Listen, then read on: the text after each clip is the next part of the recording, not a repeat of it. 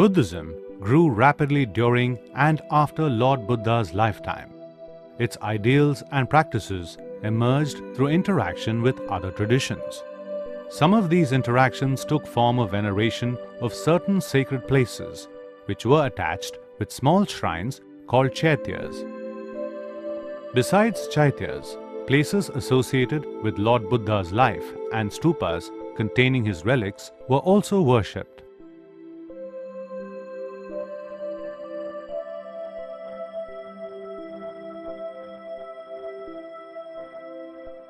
Let us learn and understand about how Buddhist stupas and Hindu temples were constructed in ancient India.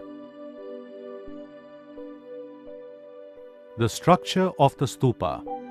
Stupa originated as a simple semicircular mound called anda, above which the balcony-like structure called harmika represented the god's abode.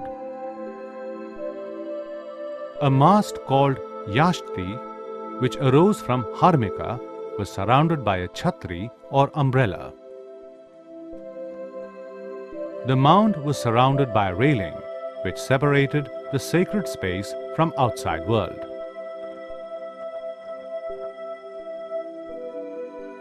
Early stupas at Sanchi and Bharhut had stone railings which resembled a bamboo or wooden fence.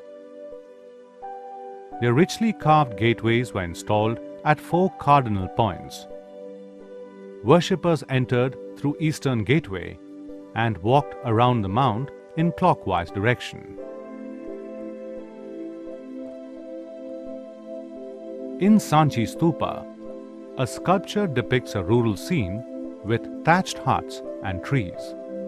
Art historians identify this as a scene from Vesantara Jataka. Many early sculptors depicted Lord Buddha through various symbols.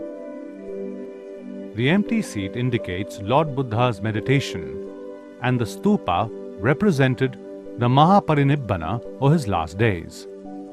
The wheel stood for his first sermon at Sarnath.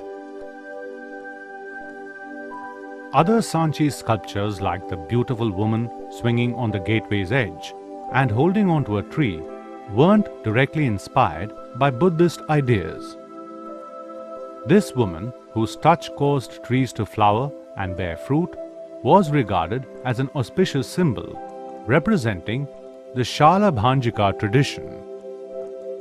Sanchi Stupa also contains some finest animal depictions, probably carved to create lively scenes to draw viewers. They were also shown as symbols of human attributes. Another Sanchi motif shows a woman surrounded by lotuses and elephants who sprinkle water on her as if performing abhisheka or consecration. Some historians identify her as Maya, Lord Buddha's mother, while others identify her as Gajalakshmi, the popular goddess of good fortune.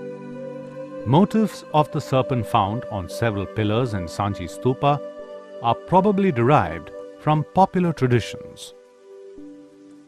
Building temples During 2nd century BC, several Hindu temples were built. Early temples contained Garbhagriha, a small square worship room with single doorway. Shikhara, a tall structure was built over the central shrine. Some early temples were carved out of huge rocks. This tradition culminated in 8th century AD with carving out of Ellora's Kailashnatha temple.